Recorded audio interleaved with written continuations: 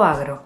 Del 12 al 15 de marzo, la facultad participó con un stand en la exposición agroindustrial a campo abierto para difundir su amplia oferta académica de grado y posgrado y los libros de la editorial.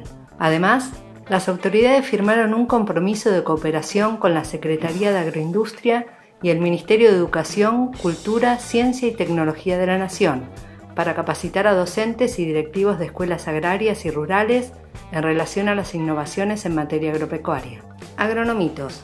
Como todos los años, el Jardín de la Facultad realizó la apertura oficial del ciclo lectivo 2019.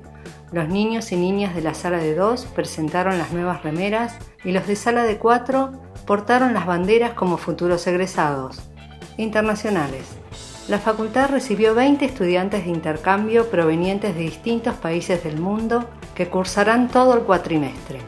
Además, comenzó el curso binacional en innovación y emprendedurismo del que forman parte estudiantes y docentes, tanto de la FAUBA como de Estados Unidos. Inauguraciones. Se realizó la ampliación de las instalaciones del agrobar, el comedor de la FAUBA y se inauguró el aula del Centro de Educación a Distancia, refaccionado y equipado por el Sanatorio Colegiales. Asimismo, en el marco de los 20 años de la editorial Facultad de Agronomía, se inauguró el nuevo local y depósito de la EFA, junto a la presentación del libro Experimentación y Modelos Estadísticos. Corredor Biológico.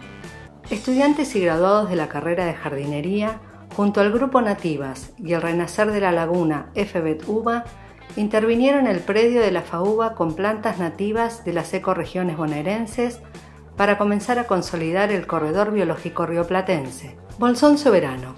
En el marco del tercer aniversario del proyecto de la Cátedra Libre de Soberanía Alimentaria, se realizaron actividades con productores, consumidores e integrantes de la Feria del Productor al Consumidor. Encuentro institucional.